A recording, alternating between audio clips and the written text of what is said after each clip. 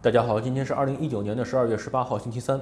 呃，首先给大家赔礼道歉啊，我上次我讲错了啊，我上次我讲了拿这个呃佳能、索尼、服饰转接这幺幺八九幺之后呢，不能放大对焦点。有一个叫 Jerry 的一个网友呢，马上就给我私信了，他跟我说呢，这两个他不知道，反正服饰呢是没有问题。他告诉我，服饰转接之后呢，你在这里摁这个，这不有个这不有个。拨的一个一个杆儿嘛，对不对？你不要拨它，你往下摁它，一摁它就可以放大了。放大之后呢，再拿下面这个摇杆呢，就可以去选择那个呃，就是说放大哪个地方啊，往往左右移动啊。然后我试了呢，没有问题啊。谢谢他的这个指教。他指教了之后呢，我一想，那就那就坏了。那如果富士能做到，索尼和佳能应该也能做到。然后呢，我就去研究了说明书，要上网要查。然后呢，发现呢也都没有问题啊。反正嗯不不太一样啊。呃，索尼呢是这样子，就是打开了之后，你要自己呢双手去点击屏幕双击，哎，它就放大了，你知道吗？你这么一双击屏幕，你双击哪哈，它就放在哪哈。放大之后呢，你再拿这个来回左左右的这么去移动它，就可以去找这个对焦点了啊。这是索尼的，然后佳能呢是最费劲的。这个佳能是怎么回事呢？这佳能是因为我自己调的时候开了这个对焦辅助，如果你开了对焦辅助的话。它就不能够放大，不知道为什么，一定得把对焦辅助关了。关了之后呢，放大呢就是这样子。你看啊，它这个我我就我就不挨个往上转接了啊，转接环都在这儿，我就不转接了。我跟你说一下就得了啊。它这个呢，嗯，就是比如说像它像这样吧，嗯，对你首先你要在这里边呢选这个，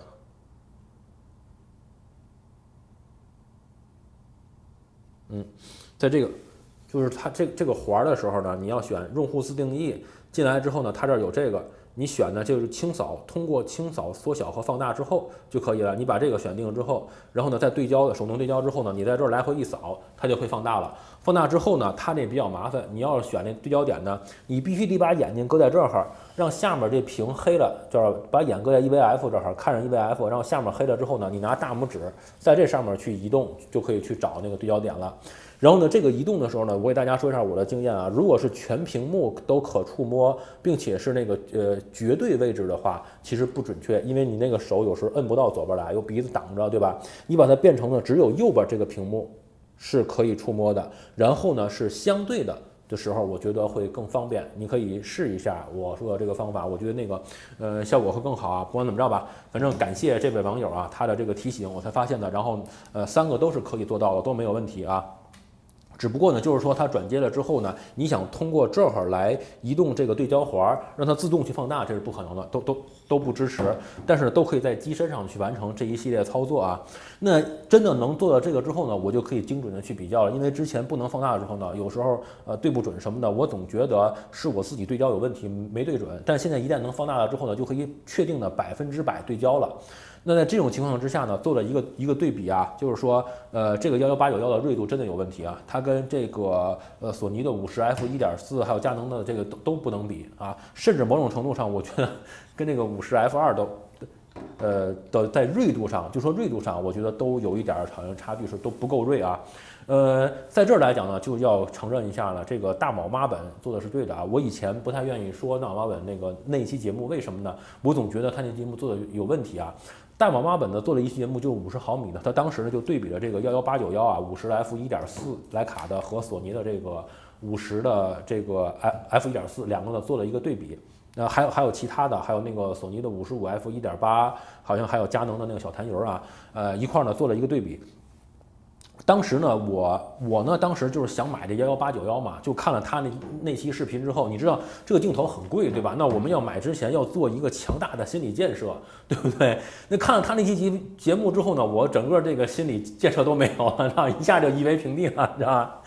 然后我就不想买。后来呢，跟那欧洲呢一个网友聊天儿，那网友就说：“你别听他的，他们那帮人都是拿了厂商的钱，胡说八道。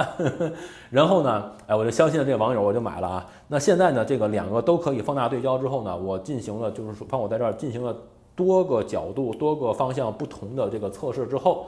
啊，我觉我最终得出的结果呢，跟大马妈本是一样。大马妈本说的没有错啊，这幺八九幺从锐度上来讲，跟五十 F 一点四比起来就是差了一截，一点问题都没有啊。我会把大马妈本的那一期视频搁在我这视频下方，你感兴趣可以去看一下啊。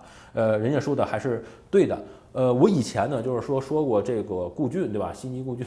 说顾俊，那那时候呢就觉得呢，悉尼顾俊说的比较对。我后来我发现一个问题，这个呢也要看阶段啊。我觉得因为顾俊呢，他也玩佳能、索尼嘛，就我们比较接近。那大马呢，他呢，我觉得呢，就是说，我觉得在这个佳能啊、索尼这方面，我觉得顾俊和大马没有什么这个本质上的区别，都都都挺准确，大家都可以看看啊。但是关于到徕卡的镜头和徕卡相机的时候呢，我们看来必须得承认啊，大马妈本，呃。在徕卡这个方面，它的这个理解，我觉得就是更更深一点。你包括那个徕卡的这个 Q2，你看那个顾俊对 Q2 的评测和大马对库对那个徕卡 Q2 的评测来讲，你觉得就是说，反正我觉得大马的那个感觉更接近于我的感觉。他说的跟我说的是，呃，跟我的感受是比较像的。你包括幺幺幺八九幺也是这样子。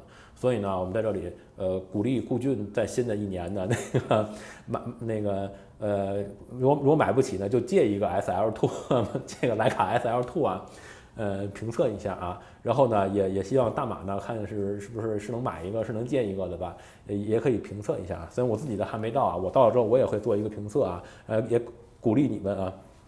好，不，顾俊呢还不错，顾俊最起码买了好多那个服饰，是吧？我去年我拍那个服饰那中画服的时候呢，鼓励顾俊的买买买买一些服饰啊。结果，呃，后来今年的时候，顾俊才看到我那期视频啊，在我我前些日子我把那个评论都关了嘛，很还真的很很巧，算有缘啊，在我评论关的前两天，他给留了一个言，说他刚看到，可能他以前还不看这个政治评论。啊，他是因为也是刚买了一个那个服饰中中画幅那个 GFX 五十二嘛，然后他看到我那个视频了，然后呢给留了一个言，我觉得还挺有缘分的。他在挽留两天言呢，我的所有评论就都关闭了。我那个时候都关闭之后，他留言我也我也看不到了啊。呃，反正呢，那就是在这个希望吧，顾俊顾俊老师啊，呃，赶快呢这个也买买买买买买啊，这个不要光买这个服饰了，再到徕卡这儿呢，如果你不喜欢这个，因为我。呃，顾俊说他以前也买过徕卡的 M 系列嘛，也不喜欢，可能因为是手动的，是什么的啊？呃，我觉得 SL Two 对吧，像素也比较高了，而且呢，它又自动对焦，又是这个 R A A 的镜头，很呃，建议呢，顾俊呢，要是买不起的就借一个，好吧？呃，那那在这儿呢，就是说，反正也也是一个，我觉得还有一点就是说，也是一个呃。自己的一个一个进步，对吧？我发现一个问题呢，就是说这个术业呢有专攻，对吧？对。咱们在摄影方面的的确确，咱们就属于呢，就是说爱好者或者说呢发烧友，对吧？跟这个像大马啊，他们这种，他毕竟是以这个摄影作为本职专业的来比起来，咱们还是有差距。人家在这方面，人家就是呃这个职业，咱们是业余爱好者，对吧？嗯。呃，这点来讲呢，还是还是还是要承认的。然后呢，如果咱们要听了大马的呢，咱可能就不会买这幺幺八九幺了，对吧？能够省很多钱，省很多学。费是不是？所以呢，我觉得呢，就是说，对于观众朋友们呢，我们也建议，就是说呢，买器材之前呢，还是要看看他们这些呃专业的评测。我觉得呢，可以少走弯路呢，呃，少交学费，好吧？然后呢，我自己呢，给大家呃赔礼道歉。我前面那个视频呢，在这三个方向呢误导大家了啊！我在这方面看来也是学艺不精啊。不过我呢，这个人这点最大的好处在这儿，我只要错了呢，我会马上拍视频呢。来呢，说我哪是错了，然后我告诉你正确的是什么，对吧？嗯，呃，反正就目前就这么一个情况。然后呢，我不知道会不会害了估计又买一堆徕卡。你 你还有一个优点，老公敢于质疑挑战任何权威。你看看你的这个挑战精神。你看我从哪一点都能找到你的优点。我老婆看我哪儿都都都都都是优点啊。对，以前就是不相信啊，偏你自己买了，自己试了，自己吃了亏，才觉得哦，原来他说的是对的，对吧？Whatever，浑身是优点。好吧，那么今天这期就讲到这里吧，好吗？好，谢谢大家。